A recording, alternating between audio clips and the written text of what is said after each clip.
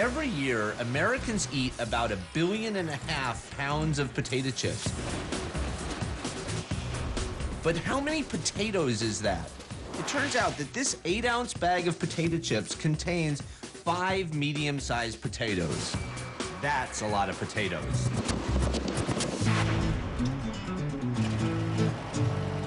Every potato chip begins its journey here on this loading dock with the machine they call the Spudnik.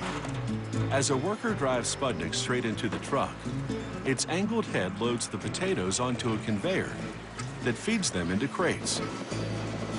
This way, the Spudnik dumps the entire load of potatoes in about 30 minutes. A job that used to take two workers more than half the day. But before the truck can even be unloaded, a sample bucket of potatoes is tested. If they don't have the right color or contain too many defects, the load is rejected. Utz also determines how much sugar or water the potatoes contain. Sugar testing is important to us because it helps us figure out how long we can store certain potatoes throughout the winter months. And since shipping potatoes are only harvested seven months a year, the ones with lower sugar content are the ones that get stored for use between growing seasons. They pass the test and can now move from potatoes to potato chips. Conveyors move the potatoes to workers who feed them into crates.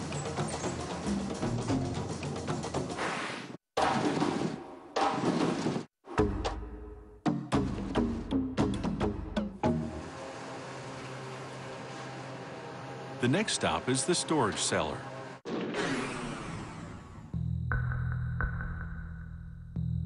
Some potatoes will wait here for seven months before they're turned into chips.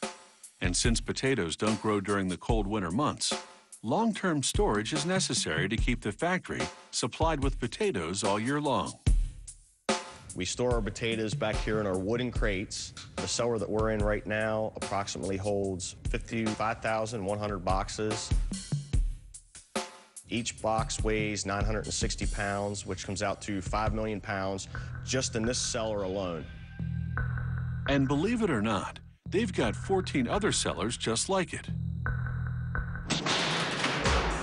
But seven months is a long time to store a vegetable.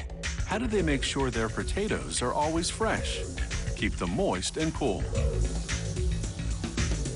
Our humidity in our cellars is 90%. Our temperature is 46 to 50 degrees, and that helps us with our potato color and our firmness of our potatoes.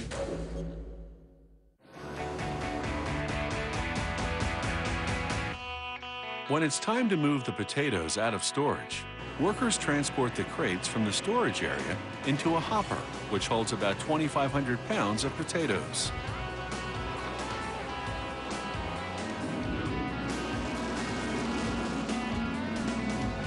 They may seem tough, but potatoes bruise pretty easily. This hopper makes sure they aren't dropped from higher than 24 inches.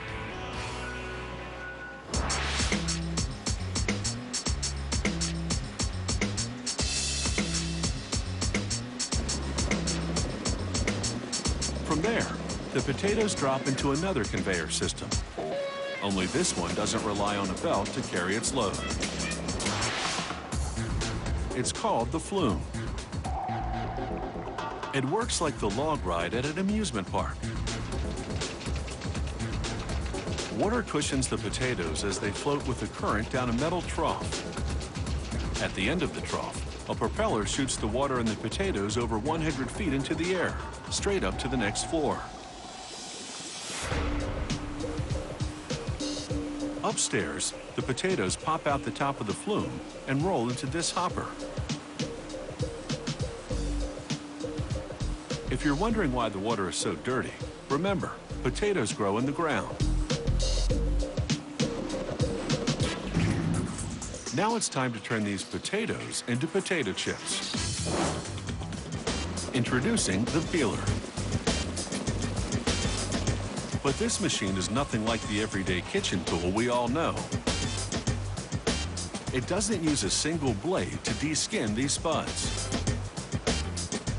The interior of this massive steel drum is lined with a gritty substance that acts like sandpaper. as the potatoes spin around inside and rub against it. The abrasive lining removes most of the skin of each and every potato without damaging its delicate white flesh.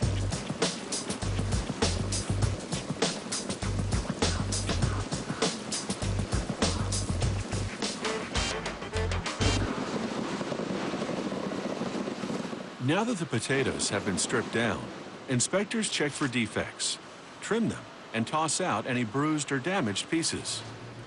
But the discarded pieces won't go to waste. They're shipped to ranchers to use as cattle feed. As for the chip-worthy potatoes, they move on to the next stage of their journey. The slicer. This machine turns one 8-ounce potato into about 50 slices in two seconds flat. Here's how it works.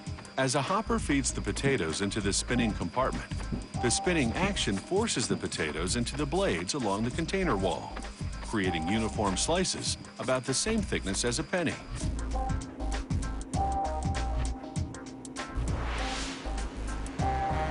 Then, the potato slices enter this rotating steel drum, part of an 18-foot-long washing machine called the rinse hopper.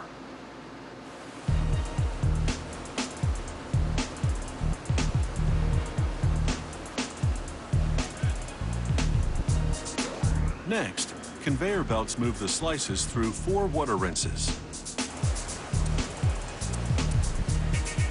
But the goal isn't just to clean the slices. It's to remove this.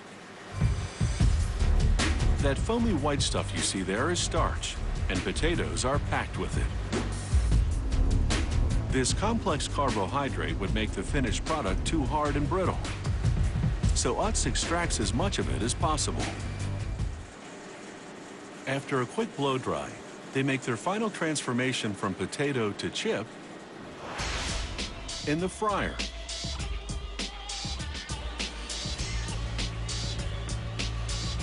A conveyor feeds the slices directly into this searing hot cottonseed oil, which hovers just around 350 degrees Fahrenheit.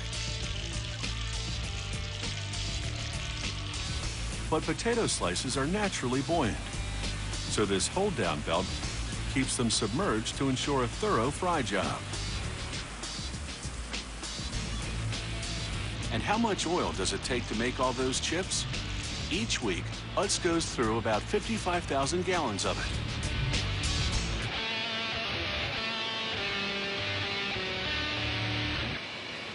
Now, you might think a fried chip is a heavier chip.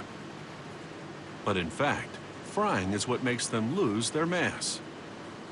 A potato is actually 80% water, most of which evaporates as it fries. That's why it takes four pounds of potatoes to make one pound of chips. But they're not done yet.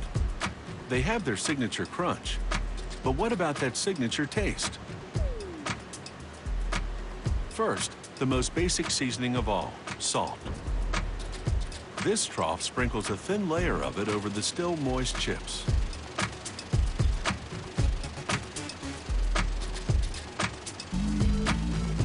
But before they can add the really tasty stuff, these chips must make it past one final inspector. The OptiSort.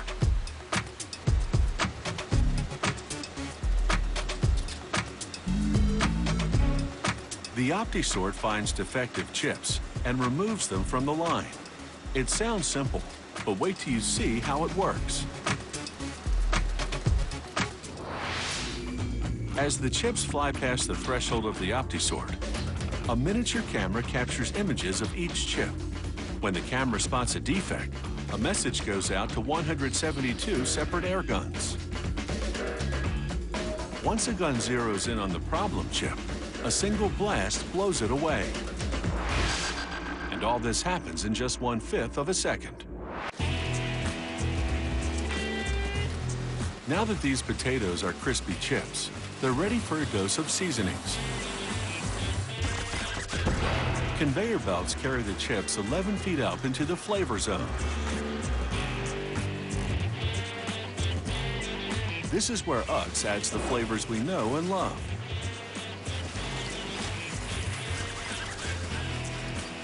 Barbecue. Salt and vinegar. Sour cream and onion. As these powdered seasonings sprinkle over the chips, the conveyor belts vibrate to make sure they're evenly coated. These finished chips are ready for packaging. But have you ever wondered how they bag them without breaking them? It's called the Form Fill and Seal machine. It uses gentle vibration to divide the chips into 14 separate steel bins. The bins then measure out the right amount of chips and drop them into waiting bags.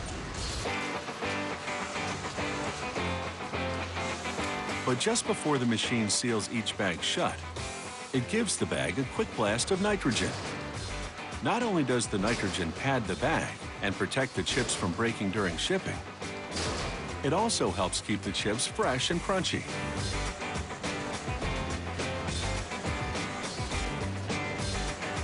Just this one factory produces 312,000 pounds of potato chips every single day. Now that's a lot to swallow.